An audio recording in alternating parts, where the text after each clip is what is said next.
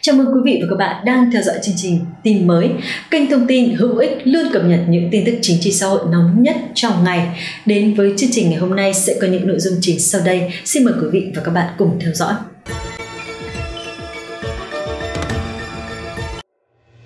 Xin kính chào quý vị và các bạn đang theo dõi tin tức mới nhất trên tin mới. Thưa quý vị, sau trận mưa lũ kỷ lục khiến 25 người tử vong, Trung Quốc lại tiếp tục hứng chịu cùng lúc nhiều loại thời tiết khắc nghiệt. Theo đó, quốc gia này đang chứng kiến sự hội tụ của mưa, lũ, nắng nóng và lốc xoáy, khiến hàng triệu người phải di rời tài sản và đất canh tác bị cuốn trôi. Trong lúc miền Nam Trung Quốc đối phó với nguy cơ lũ lụt diện rộng, thì tại miền Trung và Bắc của Trung Quốc dự kiến sẽ đối mặt với nhiệt độ cao bất thường vào tuần tới, vượt ngưỡng 40 độ C. Ngày hôm qua, Đài truyền hình nhà nước Trung Quốc đưa tin miền Nam nước này dự kiến sẽ có mưa xối xả cho đến ngày gần cuối tháng 6 này hiện chưa có biện pháp cứu trợ ngay lập tức cho khu vực rộng lớn và nông dân bị ngập lụt trong những trận mưa như chút nước trong tuần qua các nhà chức trách đã đưa ra cảnh báo về các hiện tượng thời tiết cực đoan ngay từ tháng 4 trước những cơn mưa báo hiệu sự giao mùa từ xuân sang hè vào tháng 6. Vào cuối ngày hôm qua, một trận lốc xoáy đã xé toạc các khu vực của Quảng Châu trong một trận mưa lớn, cắt nguồn cung cấp điện cho hơn 5.400 người dùng ở thành phố rộng lớn phía Nam. Truyền thông địa phương ở Quảng Châu đưa tin về mực nước nguy hiểm với sóng cao ở lưu vực sông Châu Giang, khiến chính quyền trung ương phải cử nhân viên phòng chống lũ lụt đến hỗ trợ công tác ứng phó. Một địa điểm quan trọng sát thành phố đã ghi nhận con sóng cao 2,45 m vào ngày hôm kia, cao nhất trong 20 năm. Bộ Thủy lợi Trung Quốc nhận định tình hình lũ ở nước này vẫn rất nghiêm trọng và tiếp tục cảnh báo sẽ có đợt mưa lớn trên diện rộng xảy ra ở khu vực miền Nam trong những ngày tới, khiến hàng loạt con sông xảy ra lũ. Trong đó, lưu vực sông Châu Giang có thể xảy ra đại hồng thủy cục bộ, lũ ở một số con sông thuộc lưu vực sông Dương Tử có thể vượt mức báo động. Được biết, từ đầu mùa lũ năm 2022 cho đến nay, Trung Quốc đã xảy ra nhiều đợt mưa lớn kéo dài, khiến các con sông lớn thường xuyên phải đi ra thông báo lũ, tập trung chủ yếu ở lưu vực sông Châu Giang. Theo Trung tâm Khí hậu Quốc gia Trung Quốc CNCC, Kể từ tháng 5, lượng mưa ở lưu vực sông Châu Giang, một hệ thống sông rộng lớn chảy qua Quảng Đông với các khu vực thuộc Quảng Tây, Giang Tây, Hồ Nam, Quý Châu và Vân Nam đã tăng lên mức cao nhất kể từ năm 1961.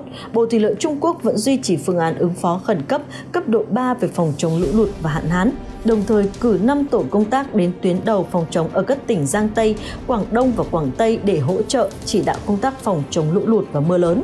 Vào hôm qua, cơ quan dự báo thời tiết ở tỉnh Phúc Kiến cảnh báo lượng mưa kỷ lục gần đây sẽ kéo dài sang tuần tới, gây ra những nguy cơ cao xảy ra thiên tai. Cảnh báo thiên tai được các tỉnh đưa ra trong tuần này đã thúc đẩy các nỗ lực cứu trợ khẩn cấp khi các đường phố tại nhiều đô thị phía Nam chìm trong nước, đường cao tốc bị chia cắt và nhiều mẫu đất nông nghiệp trở thành đầm lầy.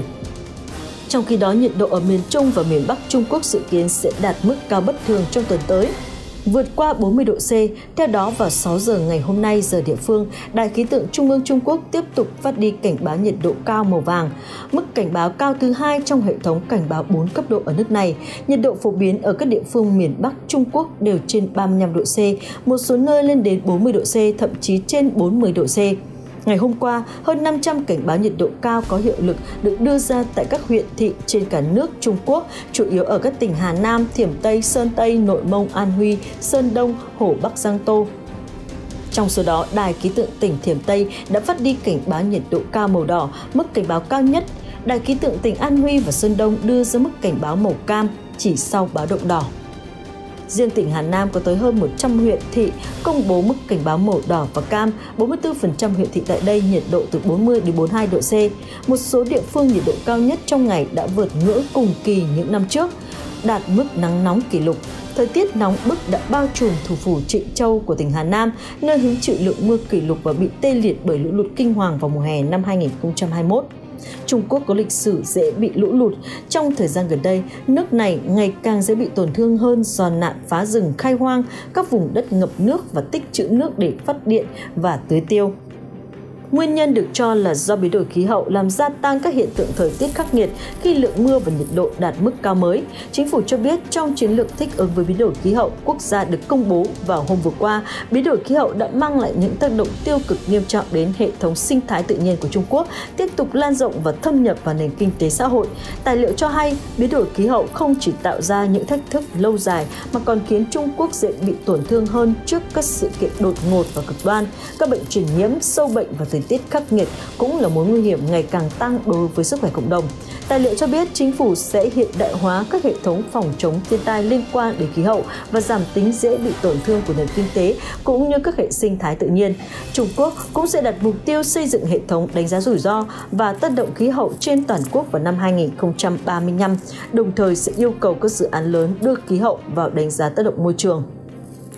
Tài liệu cho thấy Trung Quốc sẽ tăng cường giám sát tại các hồ, sông để tăng cường kiểm soát lũ lụt và cải thiện an ninh cấp nước.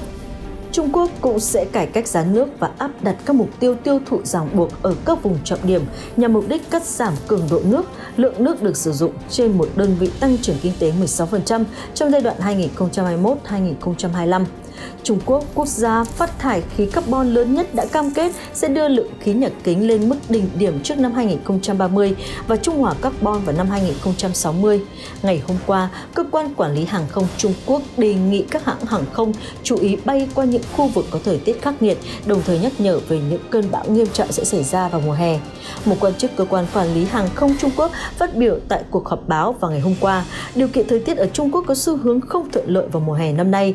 Có thể thấy những dấu hiệu thiên tai bất thường tại Trung Quốc đã được ghi nhận ngay từ đầu hè với những trận lũ lụt lịch sử nhấn chìm Phượng Hoàng cổ trấn hay mưa lớn khiến lũ trên 50 con sông vượt mức báo động. Lũ trên hơn 50 con sông ở Trung Quốc vượt mức báo động vì mưa lớn. Cụ thể, một đợt mưa lớn xuất hiện từ đầu tuần trước đã khiến cho mực nước trên 33 con sông ở Quảng Tây vượt mức báo động. Một số nơi xảy ra hiện tượng lũ quét, gây ngập lụt nghiêm trọng, có nơi ngập tới 1,7 mét. Hôm vừa qua, một trận sạt lở đất vừa cướp đi sinh mạng của 7 người và khiến cho một người mất tích ở thành phố Bắc Lưu tại đây. Trong khi đó, tỉnh Phúc Kiến cũng có 22 con sông vượt mức báo động. Tính đến sáng hôm kia, gần 85.000 người đã phải sơ tán do lo ngại về an toàn. Ít nhất 3 người thiệt mạng sau khi một ngôi nhà bị sập ở thị trấn Hoài Nam, thành phố Tam Minh thuộc tỉnh Phúc Kiến. Một số địa phương ở tỉnh Quảng Đông cũng đã phát đi báo động đỏ về lũ lụt, trong đó mới nhất là khu vực trung tâm thành phố Quảng Châu của tỉnh này vừa phát đi báo động đỏ vào lúc 7 giờ sáng ngày hôm nay. Địa hình sẽ có mưa lũ cộng với những sự tác động của biến đổi khí hậu đã khiến người dân Trung Quốc hứng chịu nhiều thiên tai trong thời gian gần đây mặc dù đã được dự báo trước. Những trận mưa lũ vừa qua cũng gây ra thiệt hại không ít cho một số tỉnh miền Nam nước này.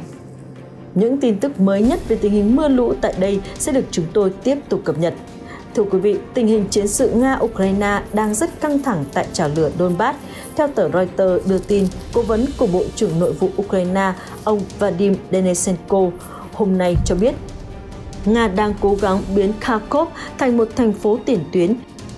Trước đó, Ukraine nói đã tiến hành phản công mạnh ở Kharkov, thành phố lớn thứ hai nước này và nằm gần biên giới Nga. Sau đó, Kiev cho biết Nga bắt đầu rút quân khỏi Kharkov và chuyển sang dồn hỏa lực vào Donbass.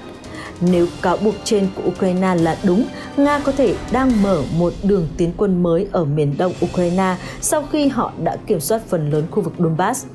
Trong những tuần qua, giao tranh vẫn diễn ra ác liệt ở thành phố miền đông Severodonetsk. Lực lượng vũ trang Ukraine hôm nay tuyên bố họ đã đẩy lùi thành công các lực lượng Nga khi Moscow nhằm mục tiêu vào các ngôi làng gần thành phố Severodonetsk.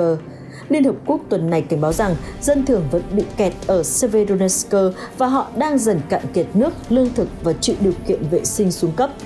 Theo phía Ukraine, họ đã đẩy lùi được Nga ở Tokivska, khiến lực lượng Moscow rút lui và đang tập hợp lại. Ngoài ra, Kiev cũng tuyên bố ngăn chặn Nga nhằm mục tiêu vào làng Okhov Nga hiện đã kiểm soát phần lớn Severodonetsk nhờ ưu thế áp đảo về vũ khí và hỏa lực so với Ukraine. Kiev trong những ngày qua tích cực kêu gọi phương Tây tăng cường viện trợ khí tài hạng nặng. Trong khi đó, Ukraine nói Nga đang liên tục đưa quân dự trữ tới Donbass và sử dụng chiến thuật đẩy lùi Kiev từng bước, thậm chí từng mét. Thưa quý vị các bạn, trong một diễn biến mới đây, công ty Timberland có trụ sở ở Zaporizhia thông báo lực lượng Ukraine vào tuần tới sẽ có thêm một trợ thủ mới trên chiến trường ở miền đông nước này, robot trinh sát mang tên Genome sẽ có nhiệm vụ dò tìm các mục tiêu của Nga và có thể hỗ trợ hỏa lực bằng súng máy, trong khi các máy bay không người lái UAV đã được triển khai rầm rộ trong chiến sự gần 4 tháng qua. Các phương tiện mặt đất không người lái UAV như Genome chưa được sử dụng nhiều trên chiến trường. Genome xuất hiện trong bối cảnh hai bên đang sử dụng các hệ thống làm nhiễu tần số vô tuyến để đánh chặn UAV đối thủ, làm giảm hiệu quả của những khí tài này. Genome trong khi đó sử dụng cơ chế chống bị làm nhiễu để có thể thực hiện việc trinh sát từ xa. Genome có kích thước không lớn hơn một chiếc lò vi sóng và nặng 50 kg. Nó di chuyển bằng 4 bánh xe và động cơ điện 5 mã lực. Phiên bản hiện tại được trang bị súng máy nòng 7,62mm. Một nghiên cứu của lục quân Mỹ cho thấy UGV tạo ra một nền tảng khai hỏa ổn định hơn, cho phép pháo thủ điều khiển vũ khí từ xa có thể đánh trúng mục tiêu một cách tương đối chính xác, trong khi hầu hết UAV được kiểm soát bằng sóng vô tuyến, Genome sử dụng công nghệ cáp quang Timberland cho biết sự cấp quang sử dụng trên genome cho phép nó có kết nối băng thông rộng với trạm chỉ huy và miễn nhiễm với các biện pháp đánh chặn bằng sóng vô tuyến. Genome có thể kiểm soát được trong môi trường khắc nghiệt nhất khi đối thủ triển khai thiết bị tác chiến điện tử, thông báo của Timberland viết. Ngoài ra, do phí vận hành không dùng tín hiệu vô tuyến, họ có thể không bị pháo thủ của Nga phát hiện và khóa mục tiêu. Đây được xem là một trong mối đe dọa với lực lượng vận hành UAV.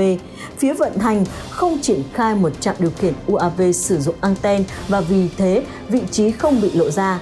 Cáp trên UAV không thể quan sát thấy và cũng không tạo ra bức xạ nhiệt mà các máy ảnh nhiệt có thể thu được, Timberland cho hay. Sợi cáp của Genome cho phép nó có thể hoạt động trong khoảng 2.000 mét. Nếu kết nối bị gián đoạn, Genome sẽ tự động quay về vị trí mà phía điều khiển đã định trước. Genome được tích hợp tính năng tình báo và có khả năng điều hướng tự động. Ngoài ra, súng máy trên Genome cho phép nó tự vệ trước vũ khí đối thủ và hỗ trợ hỏa lực cho quân nhân trong tình huống nguy hiểm. Ngoài ra, Genome cũng có thể được tích hợp mìn chống tăng TM62 và có khả năng phá hủy những xe tăng hạng nặng nhất. Sau khi được triển khai, Genome sẽ là robot đầu tiên Ukraine mang tới chiến sự với Nga.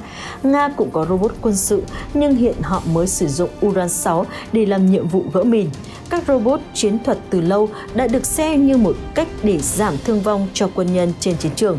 Chuyên gia nhận định Genome có thể mang lại hiệu quả cho Ukraine trong hoạt động tác chiến với Nga. Nếu đây là tin tức bạn đang quan tâm, đừng quên đăng ký kênh và bật chuông thông báo để tiếp tục theo dõi. Còn bây giờ xin chào và hẹn gặp lại!